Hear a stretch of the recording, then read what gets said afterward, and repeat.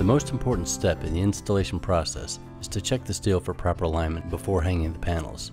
Again, check the steel for proper alignment before hanging the panels.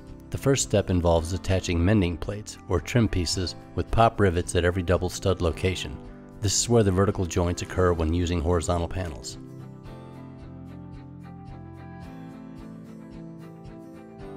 A chalk line is used to establish the proper starting point for attaching the base support extrusion. Butyl sealant is then applied to the vertical leg of the stud track. This will seal the stud track to the back of the base support extrusion. Note the sealant gaps at the mending plate locations. Urethane sealant is then applied at the slab edge to seal between the concrete and the base extrusion. Again, note the sealant gaps at the mending plate locations. The base extrusion is now set in place and attached with flathead fasteners. Please note the gaps in the extrusion at the vertical mending plates. These gaps allow any water that enters into the vertical joint area to freely drain out at the base of the wall. The first panel receives butyl sealant in both female panel joints, providing a double barrier wall system. Vertical lines of butyl sealant are added to the mending plate.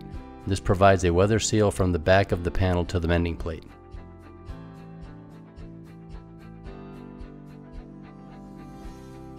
The panel is then set onto the base support, aligned and secured in place with clips and fasteners through the top male legs of the panel.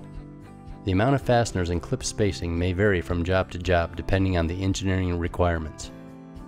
The next panel along the bottom row is prepared in the same way, with butyl sealant added to both female joints. It is placed on the base extrusion and aligned to provide proper vertical reveal and secured in place.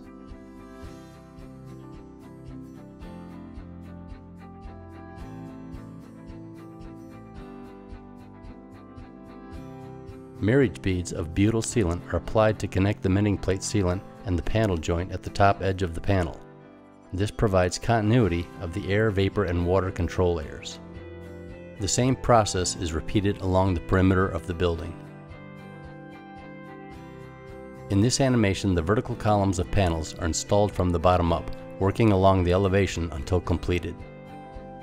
For integrated window systems, the windows are installed prior to the panels on each side of the opening as shown in the video. It is also possible to complete the installation of the panels one elevation at a time.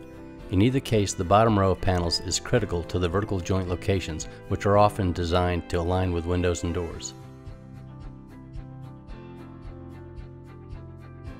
The corner panels are now ready to be installed. Butyl sealant is added to both female panel joints and to the mending plates at those locations. The panel is then set in place and attached with clips and fasteners. Corner panels may be added first as control points after completion of each elevation or after all elevations are completed.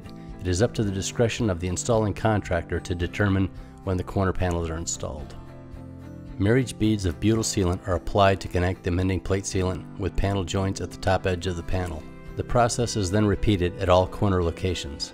The final step includes completing the vertical joint assembly. First, 4 pound density mineral wool is inserted, providing insulation and a stop for the EPDM gasket that follows. Next, urethane sealant is applied along the edges of the trimless ends in order to hold the EPDM gasket in place, followed by the EPDM gasket itself.